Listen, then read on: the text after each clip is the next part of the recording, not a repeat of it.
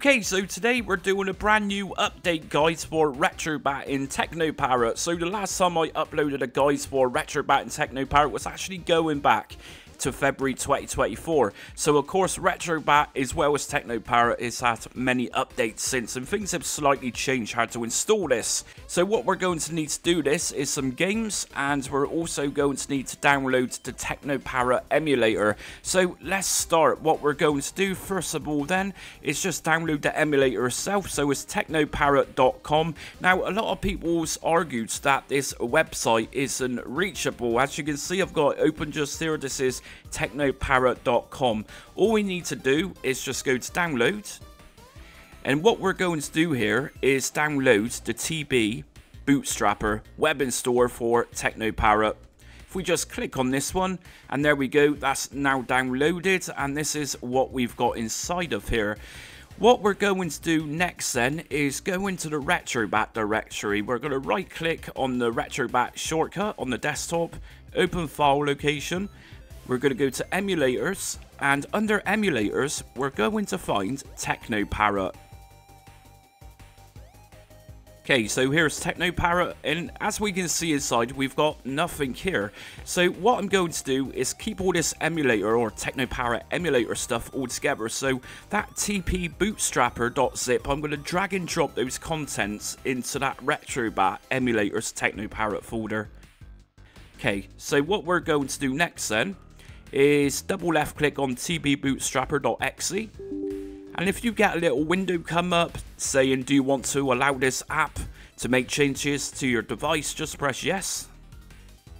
So here we go. This is the start of tekno teknoparrot so what we need to do is go to browse and what we're going to do is point this in the direction of that tekno teknoparrot inside of the retrobat emulators folder so we're going to scroll down inside of Retrobat emulators until we find TeknoParrot. Here we go. So left click on TeknoParrot just so it's highlighted. Select folder. And what we're going to do next then is go to full install. And we're going to find everything is now beginning to install. And if we look in the background, we can see inside of that empty folder things are beginning to now populate and that's good. That's what we need. Okay so everything is now done. We're going to press ok. Seems like this is the first time you're running teknoparrot okay and we're going to press ok again. And we got a few pages to accept here. So accept accept accept accept. Okay you have no game set up. Do you want to add one now? So i'm going to press no for this. And what we're going to do next is close this down and press yes. Now what we need to do next is put our games inside a Retrobat. So we're going to come out of the emulators Tekno TeknoParrot folder and we're going to go to the ROMs folder and we're going to find Tekno TeknoParrot here. If we scroll down, Tekno TeknoParrot and I'm going to drag and drop both of my games inside of that Retrobat ROMs Tekno TeknoParrot folder. Okay, so my games are now placed inside of that Retrobat ROMs TeknoParrot folder, but we actually need to rename these folders. So what I'm going to do is rename these. So if I right click on say Dirty Driving, I'm going to go to show more options, rename, and what I'm going to do is type in dot .game.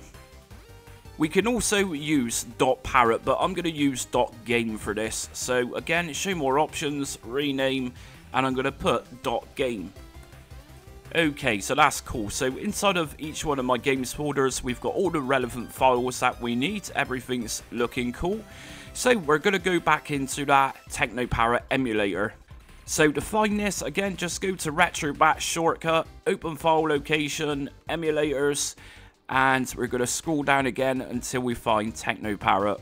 TeknoParrot, and we're going to open up TeknoParrot by just scrolling down and this time teknoparrot.ui.exe. Double left click. You have no game set up. Do you want to add one now? So for this, I'm going to press yes this time round. Okay, now as we can see, we got lots of games listed just here, but I'm looking for my game. So I've got Raiden IV and I've also got Dirty Driving. So I'm going to just scroll this down and first of all look for Dirty Driving. Here's Dirty Driving. And if I just then go to add game, I'm going to go down to game settings. Now at the top just here, it's going to say find executable. So what I need to do is left click here in this space.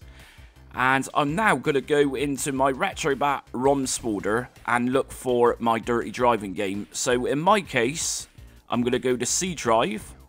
And if I scroll down, I should find Retrobat. I'm going to go into my ROMs folder. And I'm going to scroll down and obviously look for that TeknoParrot folder. Here's my TeknoParrot folder. And I'm now going to go into my Dirty Driving dot game folder. And as we can see just here, I've now got the SDAEMON.exe,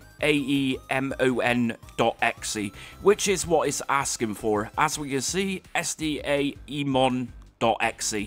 So what I'm going to do is double left click this, and as we can see, that's now been mounted inside of the TeknoParrot UI, or user interface.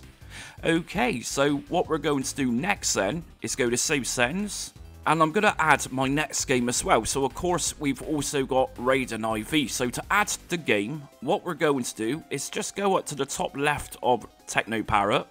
We're going to go down to Add Game. And I'm going to look for my Raiden IV game. So again, drag down and here we go. Raiden IV, Add Game.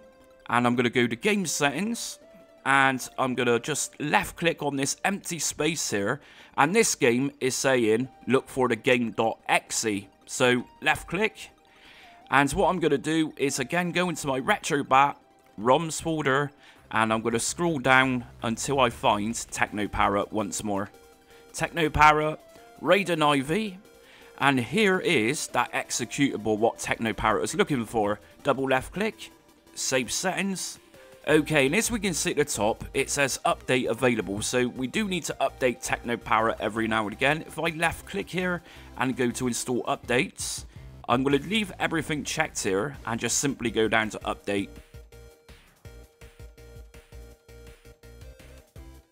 So what we're going to do next then is close out of TeknoParrot and what we're going to do is open up Retrobat. Okay, so we're inside a Retrobat, and here's TeknoParrot. If we just go inside, and here's my game. So I'm going to open up, say, Dirty Driving.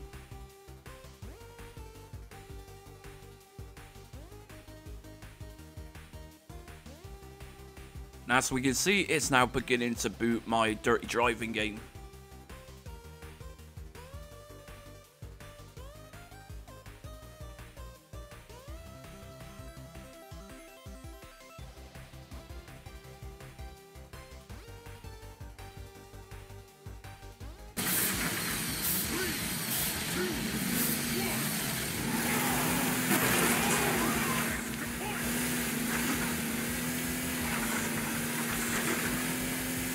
Okay, and that's working just fine. So, Retrobat is automatically configured to my controller to work. I'm using an Xbox controller for dirty driving, and it's working just fine. So, we've also got Raiden IV. So, again, I'm using my Xbox controller to control this. If I just open the game,